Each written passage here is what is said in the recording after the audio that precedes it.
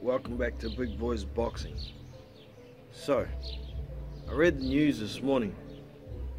Dillian Whyte has been reinstated by the WBC as interim champion and mandatory challenger.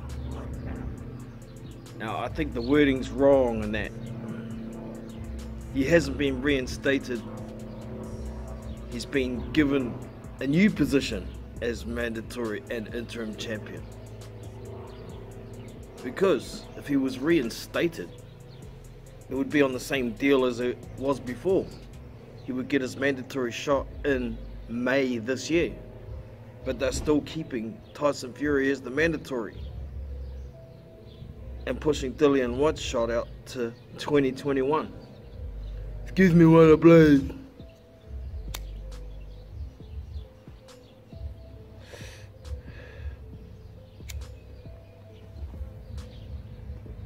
Know, I ain't one of these Dillian Whyte nut huggers.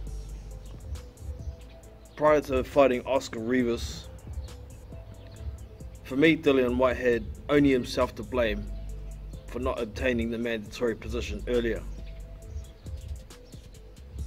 As it was, Dominic Breazeale was the Mando when it started out.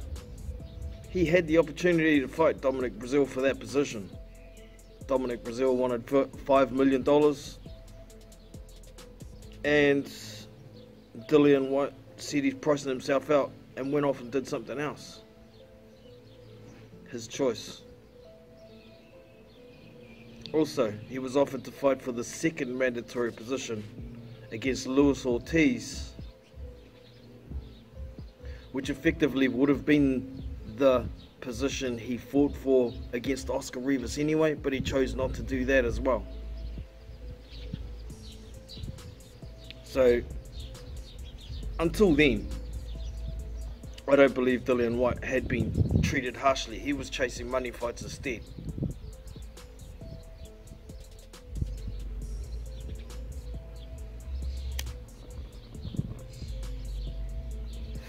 But the WBC still pushing Dillian Whyte out to 2021 for me is wrong.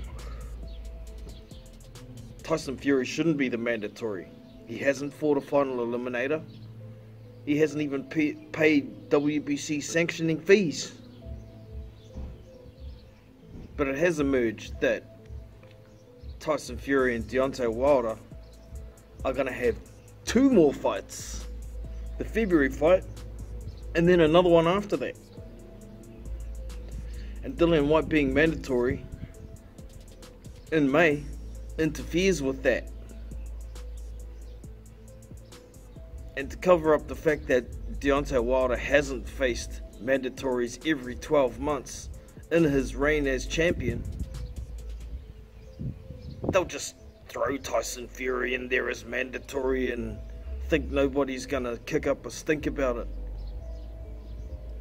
So they can get the sanctioning fees from Wilder vs Fury 2 and Wilder vs Fury 3 before Dillian Whyte gets a shot at the title he earned.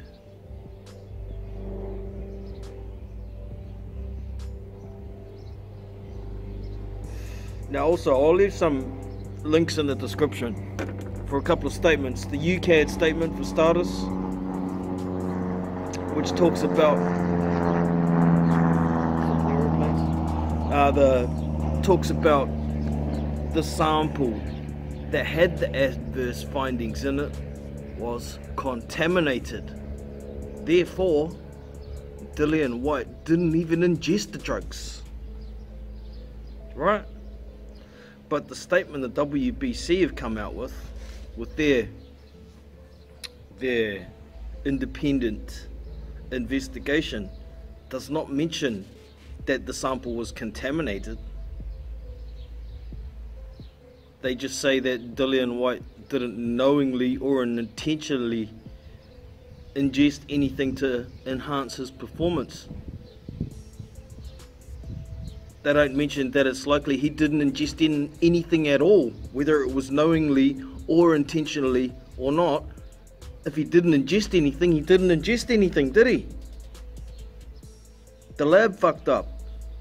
The sample sample got contaminated. In the story.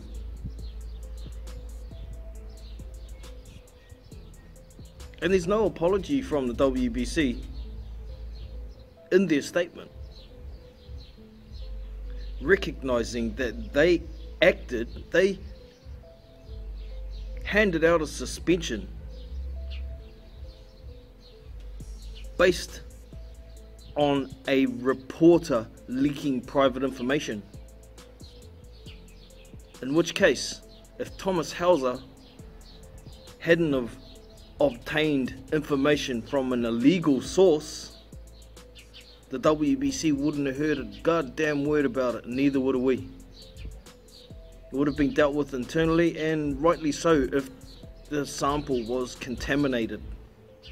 Because Dillian Whyte's reputation has been tarnished due to the WBC acting on a reporter's leak of private information.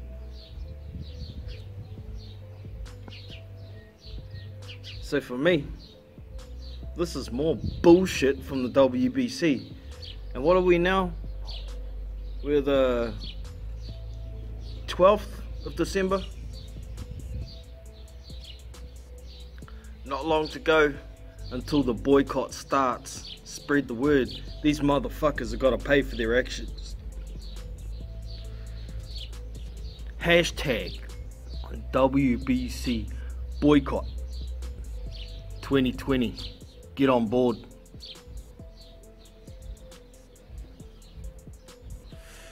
So I hope you've enjoyed the video. Don't forget to give me the thumbs up if you have. Subscribe to the channel.